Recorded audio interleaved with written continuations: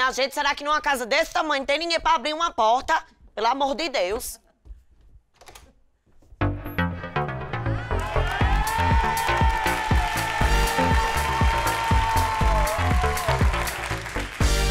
Muito prazer, Vanderlei com dois L e Y, já pode anotar. Então a gente já tem uma coisa em comum, né? Que eu sou Jennifer com dois N's e um Y. É, sócia de Mário Alberto. Vamos sentando aqui, chegue. Já já o stripper tá chegando, você vai adorar ele. Mentira, ele é tudo de bom? O quê, amor? Você vai ver, vem todo uniformizado, vai até fazer demonstraçãozinha grátis. Por mim, tudo bem, amor. Valendo a pena deixar arder. É, pois é. E esse rapaz conversando com você aqui, Zé?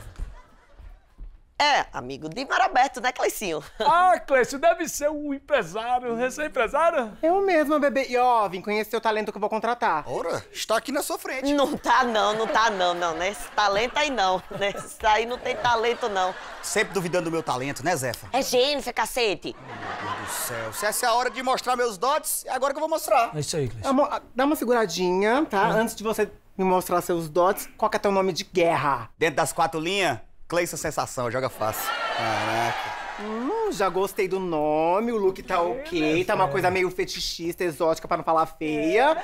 Você tem futuro. Gente, eu acho que tá rolando algum Ô, engano. Né? Por favor, deixa o rapaz falar, ele é empresário. Você já deve ter empresariado muitos artistas e famosos. Amor, Cleberson Varão. Olha. Cleiton Cavali é cavalo, tá? Não é pro outro, não. E Lucas Boca de Fogo. Gente, eu acho melhor a gente deixar essa reunião pra outra hora, né? Um negócio assim pra outra. Não, eu tô achando interessante.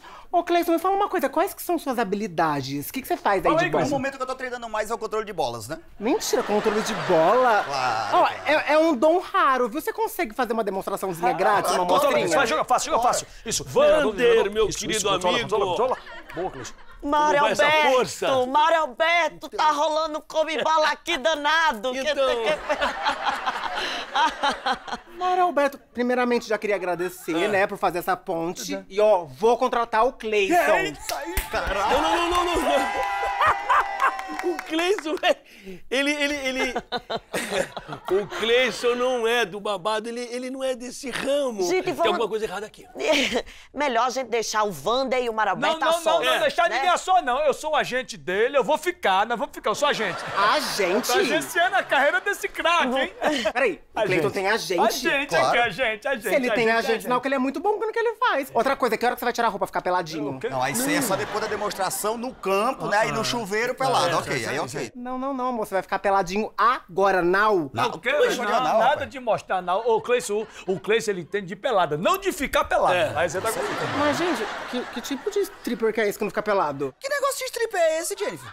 Eh, Tu não é empresário, irmão? Não, eu sou empresário de balada LGBTQ+, só que o Mário Alberto, juntamente com a Jennifer, me falaram que ia apresentar um cara que ia ficar peladão profissional dos sonhos, não é você? Que é isso, meu Deus do céu? Essa menina tá envolvida com dançarino pelado. Ô. Jennifer. Que é isso, Jennifer? Ei, que Cleison, eu fiz por dinheiro, Cleison. Dinheiro? Aham. E dá dinheiro isso aí, dá, doutor? Amor, eu pago mil reais a apresentação. Mil reais? Eu topo. Eu também. Eu quero. Top. Epa, que você não topa coisa nenhuma, não, que não vai topar, que não deixa, que eu não deixo você topar no topar das coisas. Viu? Ninguém vai mexer no meio de campo do meu marido, não. Não. Vem, vem, vem cá, ô do brilhoso, ô empresário. Não serve eu não, velho, uma beleza exótica? Não, que essa cara de gambá, não, né, amor? Eu quero, ó, Cleisonzinho, gostosinho, cremosinho. Hum, pra esse cremosinho aqui já tem a cremosinha dele, viu? Ah, não vai nunca coisa nenhuma, não. Peraí, eu não posso contratar o Cleison? Não, senhor. Ai, fia. Ô, Mário Alberto, é, vamos combinar uma coisa? Primeiro, você me faz perder o meu tempo. Não, é- Segundo... Não, vamos botar um ponto final nesse contrato, eu não quero te ver nem pintado de ouro. Boa Não, sorte. mas pera um pouquinho. Volta pro pera rei um do pouquinho. Wander, meu Wander, filho. não. Ah. Eu tiro a roupa, não. Wander, melhor. Wander, volta aqui, Wander. Aí eu perdo. Mais uma vez. Mais uma vez, o negócio é babado por causa dos Rony. Vou falar pra vocês aqui. Já estou olhando aqui a plateia, já tô vendo que tem uns, uns rapazes bonitos aqui, sabe? As pessoas que sabem. Isso, exatamente. As pessoas que sabem da sua capacidade, entendeu? Eu sou uma pessoa que eu talvez eu não confie muito nesse negócio, porque assim. Eu venho do Piauí, que é um sol muito forte, então a gente não sabe fazer cara de modelo, porque a gente vem com aquela cara de sol a vida inteira, assim, sabe? Então, tipo assim, isso até complica, porque eu não consigo nem piscar o olho. Eu não tenho coordenação pra piscar sexo. Eu pisco, a cara vai todinha Do mesmo jeitinho. Não tem como. Isso é muito assim. Teve um amigo meu que ele, ele lutava pra ser modelo, a galera até dizia pra ele que ele. Moço, não vá por isso, tente outras coisas. Porque ele tinha essa cara de sol muito perversa, sabe? A dele era mais perversa. Eu não sei se ele passou uns dois anos da, da, da infância dele sem ter em casa, que ele só andava com oi assim. Chegou um dia pra comprar uma laranja, ele disse: Minha senhora, contei a laranja. A mulher olhou pra cara dele e disse assim: Meu filho, eu até lhe dou, mas vai chupar lá atrás? O pessoal vai pensar que minha laranja é azeda.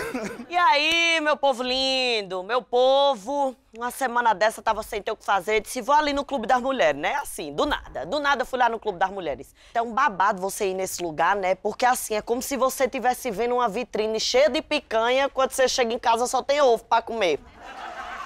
É, é difícil, gente. E a mulherada lá vai à loucura, homens tirando a camisa, uma loucura assim, me ajeita o negócio. É, vocês gostam, né?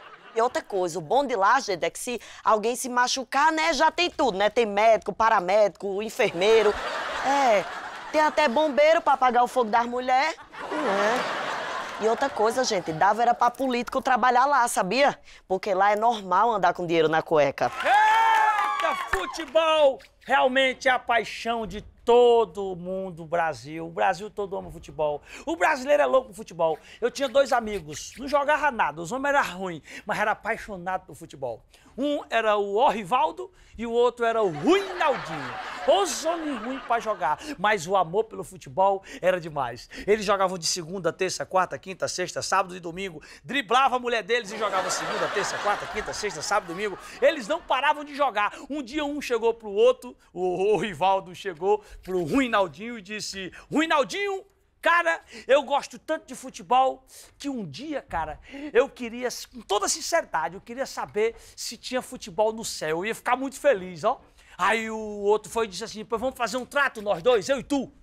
Quem morrer primeiro, quando chegar lá no céu, vê se tem futebol. Aí volta pra avisar o outro. Que é pra gente não perder o jogo, tá certo? Aí o Ruinaldinho morreu primeiro, ó. Morreu o Ruinaldinho.